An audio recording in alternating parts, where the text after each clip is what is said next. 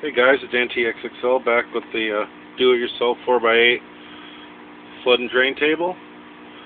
You see I got my fittings hooked up. Whole lots of extra silicone. they got all over the place. I siliconed under the plastic, on top of the plastic, then squished the uh, the rubber ring into that silicone and putting the drain back through got silicone on everything but it's pretty ugly and uh, those are my risers. My other drains. I got uh, my reservoir. I forgot to tell you on the first one, you also need another hole for the plug for the pump. I didn't think about it until after I got together. I was like, how am I supposed to plug this in? But there you go. I drilled, I don't know, it's like a one and a quarter inch hole. It's way too big, but uh, you can just put your uh, paddle bit next to the uh, end of the plug and figure out what size you need. And up here, everything's working perfect. You can see,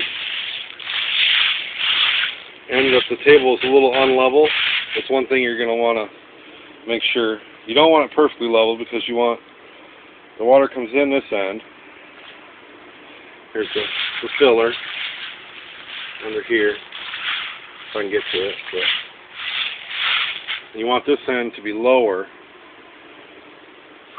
so that when this end gets done filling and the pump shuts off, it will all run back to that other end. And I thought it would be a good idea to have the inlet on one end and the uh, the drains on the other end. So that way, as the water's coming in, it flows across all the plants and goes out those when uh, the overflows. And then it comes back and goes back into the reservoir. A lot of systems you see they're both right in the center or whatever. I mean, I'm sure maybe there's no difference. I don't know. But uh, that's just my idea. And uh, one thing, I did put my drain, my uh, inlet, a little far away from this edge. It's probably a better idea now that I realized. Put it closer to the end so that all, because there still holds just a tiny bit of water on this end, and about an eighth of an inch or something, because that end's a little bit lower. But everything works perfect. Um, we have these net pots. These are 3.7 inch, 3.75 inch pots. I got 50 of them for 25 bucks at HTG Supply. Um, they got shops all over the country, like 10 locations or 8. They also have an online store, and they also have an eBay store. So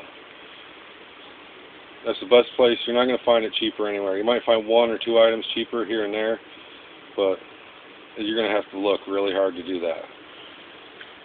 So anyway, this is the third part, and I might do a fourth part with the plants, or I just might call that the, uh, I don't know, something or other, whatever. But if you have any questions or comments or anything on what I did, and or anything like that, if there's anything I didn't cover, um, feel free to ask or comment or whatever you want to do. And I'll try to answer it to the best of my knowledge. This is my first time doing this, but I've seen a lot of videos on how to build this. I'm good at building things, but I guess we're going to see how uh, good I am at growing plants hydroponically since this is my first shot at it. If there's any tips you guys might have on growing this way or anything like that, I'd really appreciate it. And uh, thanks for watching.